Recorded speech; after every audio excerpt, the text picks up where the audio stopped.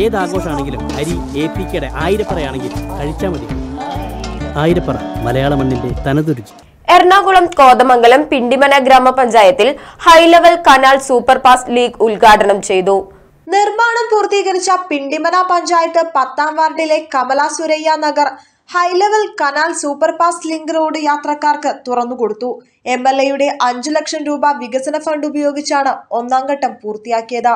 സഞ്ചാരയോഗ്യമായ റോഡിന്റെ ഉദ്ഘാടനം Kothamangalam M L A Antony John നിർവഹിച്ചു.